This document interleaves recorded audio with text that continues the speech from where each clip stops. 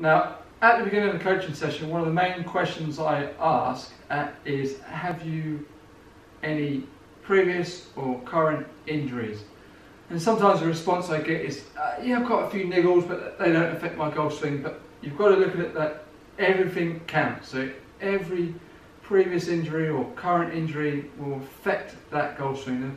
The, the brain is is intelligent enough that it will adapt the swing so then it doesn't uh, cause, cause further injury to yourself. So then the swing will adapt, which then can cause some major issues in trying to get that consistency. But also you need to be aware that if you're if you're restricted in any way, you need to try and adapt to that particular restriction so you change the swing rather than getting frustrated and banging your head against against a brick wall and being very frustrated. So welcome to Mark Amey Golf. So today we are covering the wrist in flexion and extension. If you're limited in any way with your wrist movement of how that will affect the golf swing, how to test it to see if you are limited it, limited in that movement and how to get around it. So the first thing we need to do is our test on our flexion and extension of our wrist. So you just need a six iron Get your arm, forearm so it's parallel to the ground and make sure the elbow is tucked into the body. We don't want the forearm helping out in any way, so you're trying to keep that parallel to the ground. Put your six iron along the forearm so it's in sync with that.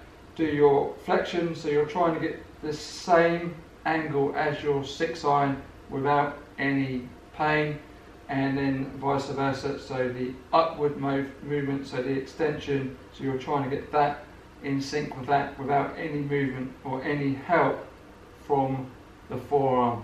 So do both sides, see how you get on with that first. So that's your first checkpoint, that's your test to see if there is any restriction in any way, if there's any pain. It's not a macho thing, you're not trying to power through to the angle of that six iron. So just nice and relaxed, you shouldn't feel any discomfort in the movement. It should be nice free movement.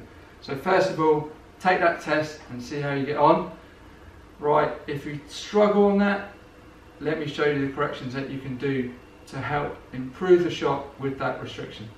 So if we have a restriction in the movement with our wrist, that can have a massive effect on the swing path and the club face. So the main thing I feel it affects, which I've had quite recently, is that it tends to open up the club face on that backswing. So as you swing back, where the wrist is struggling to achieve that move, tends to then stay quite straight, which in turn, in that motion, would then tend to open the club face, or suddenly you would be across the line slightly at the top, which then leads to a reroute of the club. So you're either going to come over the top, or you have to then early extend to get through that shot. So there's two big things that that can cause. So the opening of the face and then the path being offline and the club crossing over at the top, which is then very difficult to get back to the ball. So with regards to the opening of that club face, which will cause a potential shot over to the right, or you're then going to overcompensate and then pull it left, just depending on what club you're hitting. So the main bit to try and help with that, to help that position, is to make sure you strengthen that grip. So when you make the grip stronger, that will encourage to close the club face. It will put the wrist in a slightly better, more potentially more comfortable position to control that club face. And if you add in a slight rotation as you go up, that will then help you with that swing path rather than that crossed over line.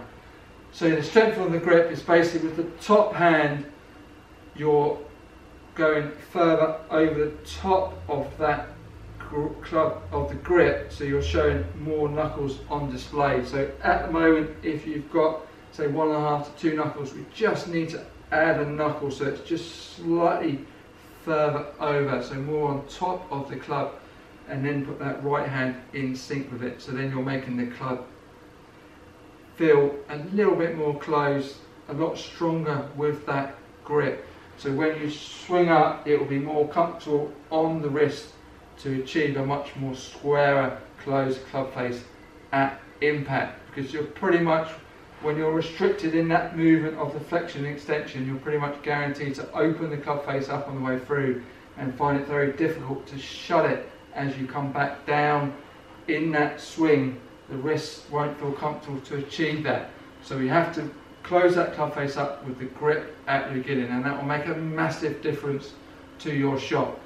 If you're someone that tends to cross it over at the top and just experiment with how far you can swing before the club tends to cross over. So you can do quite a simple one where you shorten the length of the swing or you feel there's a more rotational move as you go up. So you're rotating the club as it goes up to try and keep it more laid off so it doesn't spring across, which then, like I said, leads to either over the top or an early extension.